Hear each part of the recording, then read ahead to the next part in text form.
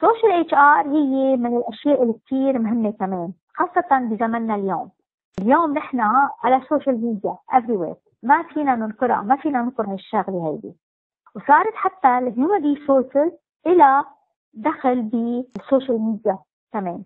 لأنه صار في عندنا تزايد شبكة الاتصال وكل الموظفين موجودين على شبكة الاتصال أوكي ففينا نعمل تطوير للموظف من خلال تواصلنا معهم على شبكه الاتصال. اليوم بتطلعوا على الفيسبوك بتطلعوا على اللينكد ان بتطلعوا على جوجل بلس بتشوفوا الشركة عندها وجود على الشبكة وبتشوفوا إنه الموظفين تبع الشركة كمان عم يتواصلوا مع الشركة من خلال ال social media.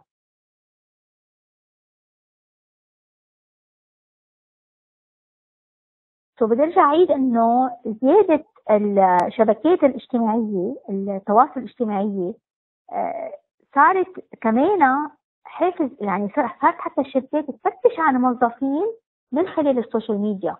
قبل ما توظف الشخص ممكن تشوف هالشخص كيف كيف آه، شو هي ال interest تبعه شو هي ال hobby يعني اليوم نحن لما نوظف شخص مش بس عم نوظفه لأنه عنده الكفاءات وعنده المواهب وعنده كل الأشياء اللي هيدا بدنا اياها بس لا.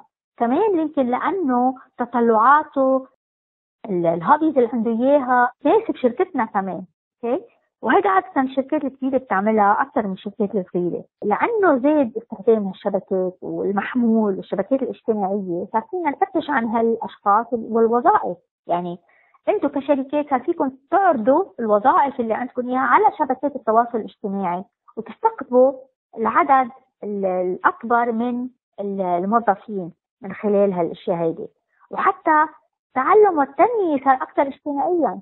كنا من زمان إذا بدنا نتعلم أي شيء لازم أو نروح على الجامعة أو نروح على المدرسة أو نروح على كورس أو نقرأ كتاب. اليوم إذا بنطلع على شبكات التواصل الاجتماعي بنقرأ ارتكلز بنقرأ توارد الأفكار بين ال... بين الموجودين على الشبكات.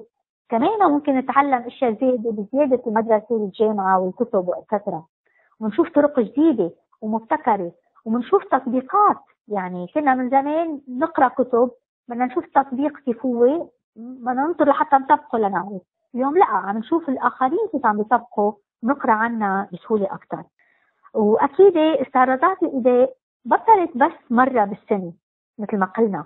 يعني اليوم تقييم اداء الموظف بطل مرة بس بالسنة.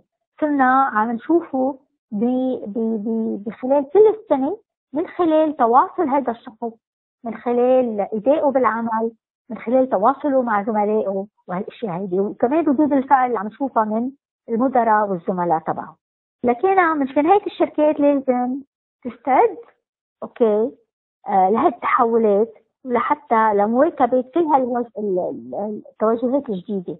يعني ما تتركوا حالكم بعيد عن ال social media. بس أكيد لتكونوا على ال social media منا شغلة كثير سهلة. لازم تكونوا مهيئين آه لوجستيا مهيئين يكون عندكم شخص مسؤول عن ال social media لحتى يقدر يتواصل مع كل الأشخاص الموجودين. بآخر الندوه بتقول إنه معرفة النظرية غير كافي، لابد من التطبيق. عقد النية غير كافي، لابد من الفعل.